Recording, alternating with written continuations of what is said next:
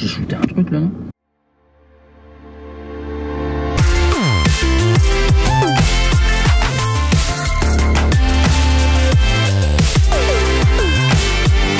Yo salut tous c'est Seb, j'espère que vous allez bien dans un rond-point. Aujourd'hui, eh bien, je vais vous faire un retour sur la Ford Mondeo Mark 3 phase 1 de 2009 que j'ai acheté et que je possède là actuellement.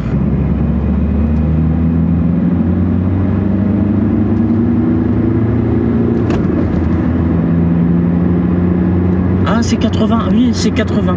Autant pour moi, c'est 80. Excusez-moi, monsieur le président. Voilà, 80. Voilà, petite centième, 80. Alors, je vous avais promis un retour sur, euh, sur ma nouvelle voiture et je l'ai jamais fait en fait. Je l'ai jamais fait. Et tant mieux parce que du coup, bah, les mois ont passé. Moi, j'ai beaucoup roulé avec cette voiture. Je vais pouvoir vous donner un avis objectif, je l'espère, sur cette euh, Ford Mondeo. Alors, pour rappel, je viens d'une Citroën Saxo. Mais alors, qu'est-ce qui m'a fait choisir cette Ford Mondeo? Eh ben, à l'époque où je voulais changer de voiture, je cherchais une berline. Voilà, je cherchais une grosse berline euh, familiale, un truc qui soit bien posé sur la route. J'en avais marre des petites autos qui prennent le vent, la moindre rafale, là, t'es comme ça, là, t'es sur deux roues. Et du coup, bah, à l'époque, je savais pas, euh, c'est une BMW, ouais, non, peut-être pas, faut assumer l'entretien derrière, c'est chaud, euh, BMW, ça coûte cher. Non, bah, je sais pas, bon, oh, c'est pas trop.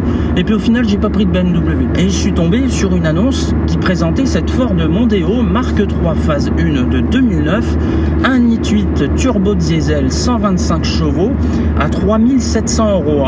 Cette voiture, quand je l'ai achetée, elle avait 144 000 km. C'est assez peu pour une diesel. Hein. Pour une diesel, c'est pas beaucoup. Voilà, on remet les choses dans leur contexte, s'il vous plaît. Bah, il y a des bagnoles, ils ont plus de 200 000. Bon, et en plus de ça, le prix était pas du tout excessif. 3700 euros. Faut savoir qu'aujourd'hui, si vous cherchez une Ford Mondeo comme ça, c'est 4000 euros minimum. Vas-y, là, avec ton scénic de bâtard, là, putain idiot. C'est 90 là. Et puis voilà, et puis ça freine devant. Mais bande d'idiots D'idiots Donc j'ai acheté cette voiture à un professionnel.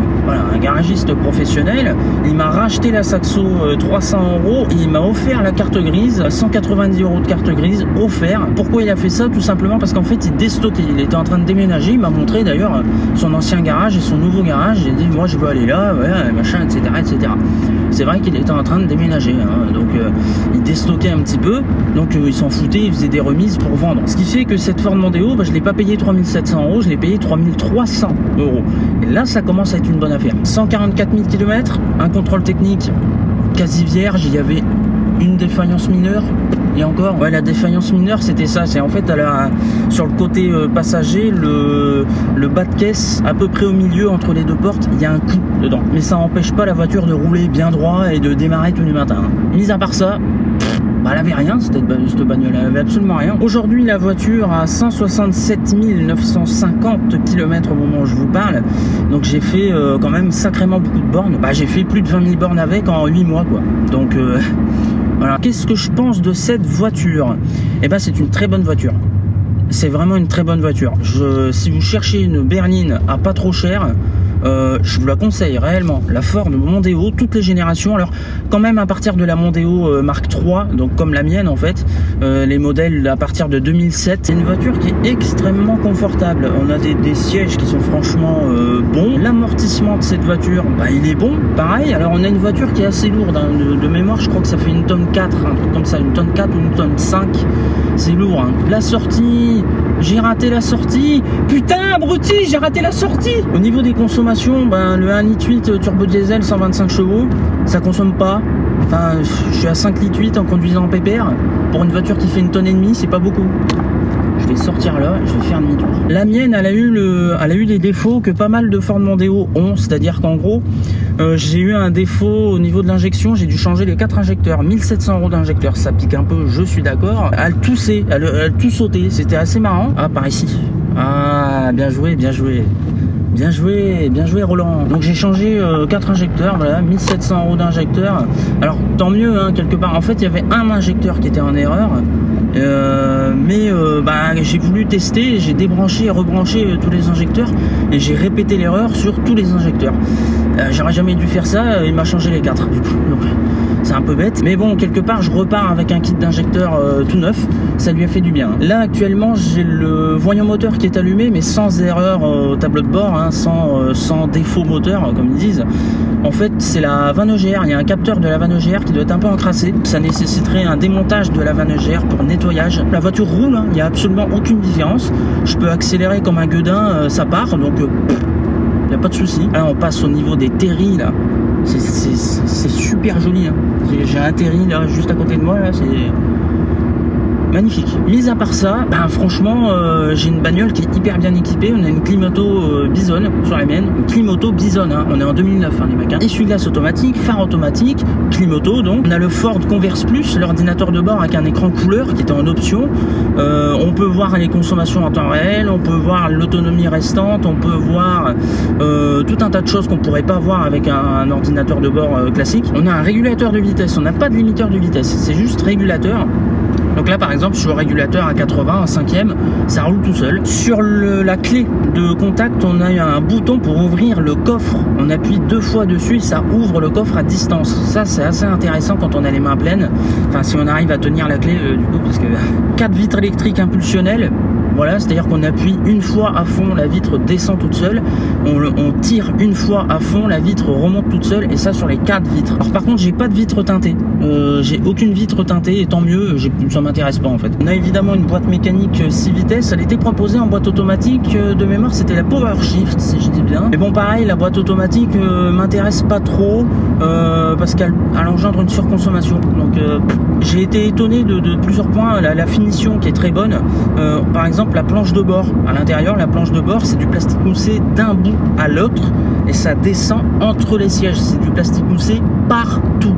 Euh, franchement, la finition est top. Il n'y a pas un plastique qui bouge. Voilà ce que j'en pense. Hein. C'est vraiment une superbe caisse. Elle a des défauts en fait qui sont idiots, c'est-à-dire que le moteur 1.8, bah, c'est pas un moteur qui est super fiable. Euh, des petits soucis d'injecteur, des petits soucis de van EGR. On a également des petits soucis de volant moteur. C'est un volant moteur bimasse. En fait, un volant moteur bimasse, c'est qu'est-ce que c'est un volant moteur? Déjà, un volant moteur, c'est le l'endroit en fait où le moteur est relié à la boîte de vitesse. Voilà, c'est un disque en fait. Sur les voitures standards, le disque c'est un seul morceau. Vous voyez, c'est un, disque avec un, système d'accroche. Là, on a deux parties. Deux parties qui peuvent euh, tourner euh, l'une indépendamment de l'autre avec des petits ressorts. Et ça permet d'absorber les vibrations, une bonne partie des vibrations du moteur et de limiter les à -coups. Ça marche. Le souci, c'est que c'est fragile. Il y a souvent des cas où bah, ces petits ressorts là euh, bah, pètent, en fait, cassent et euh, tout simplement bah, viennent se loger dans le volant moteur et viennent tout broyer en fait. Je vous conseille le 2 litres 140 qui est, qui est le moteur euh, PSA en fait. C'est un moteur PSA donc pour trouver des pièces c'est beaucoup plus simple. Un 2 litres 140 chevaux turbo diesel qui était monté sur la Mondeo mais qui était monté aussi sur les C5, sur les Peugeot 607, sur les Peugeot 407, sur, euh, enfin, sur plein de voitures et qui est un très bon moteur. voilà, je vous le conseille. Voilà, sinon j'ai rien d'autre à vous dire. Franchement, je suis très content de cette voiture. Alors, je vais pas la garder malheureusement parce que le prix du gasoil n'arrête pas de monter. Et là, j'ai fait le plein là récemment. J'ai encore mis plus de 100 euros de gasoil. C'est pas normal de mettre autant. Je vais finir par la vendre cette voiture de, misère parce que bah, le gasoil est beaucoup trop cher. Et puis voilà, je, crois que vous savez tout. Je suis content de cette voiture. Je vous la conseille si vous cherchez une berline familiale d'occasion à pas trop cher. Bah, Ford Mondeo, marque 3 à partir de 2007. Pensez-y. En diesel, ça marche. En essence, il y a eu une pléthore de motorisation en essence. Je vous conseille le petit moteur 2 litres 5 turbo essence 5 cylindres en ligne qui était monté sur les versions sport de la Mondeo mais aussi sur la Focus ST et également sur les Fiesta ST s'il y en a eu. Euh, mais le petit moteur 2 litres 5 essence là, hmm, ah là là là là, un régal.